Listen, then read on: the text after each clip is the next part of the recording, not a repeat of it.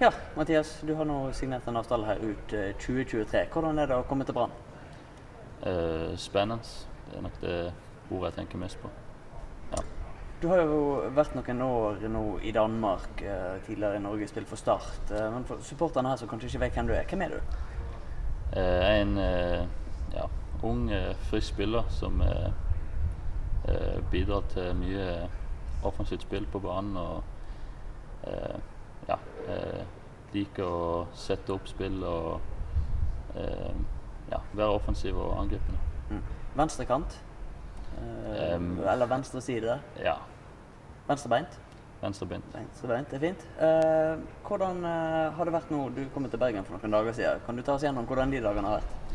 Nei, De har selvfølgelig vært litt spesielle med tanke på at jeg må teste negativt på korona og måtte holde avstand og bare vært på et hotellrom og, og sånn der. Men eh, ja, det har jo vært det har vært litt kjedelig med tanke på at man har så lyst til å komme i gang og treffe spillere og komme i gang med trening og ja, bare kjøre på.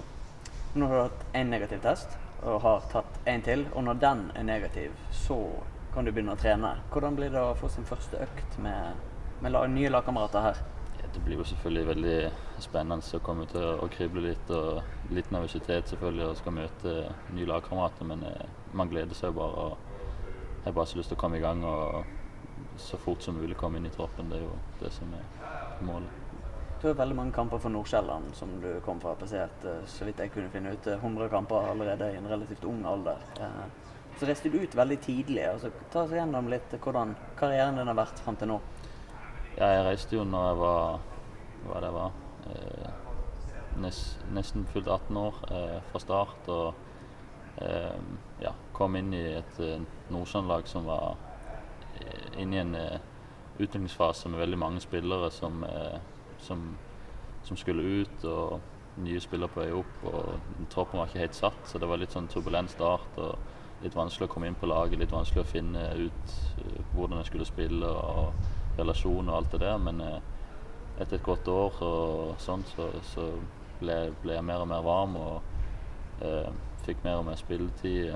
Gjorde mange gode innhopp, og, og etter hvert så, så ble jeg mer og mer etablert og fikk da de 100 kampene. og eh, føler jeg har fått en masse, masse god erfaring både, både på og utenfor banen. Så Du spilte jo noen kamper for Start før du reiste til Danmark, og så har du vært eh, i Danmark nå. Hvordan blir det å komme tilbake til Eliteserien etter å ha spilt noen år i Danmark? det blir, eh, det blir nok veldig nytt, tenker jeg, fordi eh, jeg husker jo ikke så mye fra når jeg spilte der. Det er jo ganske lenge siden, og jeg spilte jo ikke så lenge. Så hvordan eh, lagene er nå, hvordan eh, nivået og, og sånn er det, det Det må jeg ta sånn litt Ikke få erfaring, men, men se på med nye øyne, tenker jeg. For supporterne sin del, eh, hva, hva skal du bidra med til laget, og hva kan de forvente seg? Ja, men altså, jeg ønsker jo å, å, å være en, eh, en viktig spiller som ja, som er, som er stabil og stabilt leverer gode prestasjoner. Eh, ja, drømmen er jo selvfølgelig å, at eh, Brann skal ligge der som, som Brann eh, burde ligge, oppe i toppen. og det, det hadde vært helt fantastisk. Nå har du vært en del år i, i Danmark, som vi var inne på, eh, men du kjenner jo i hvert fall én av de som er her allerede fra før.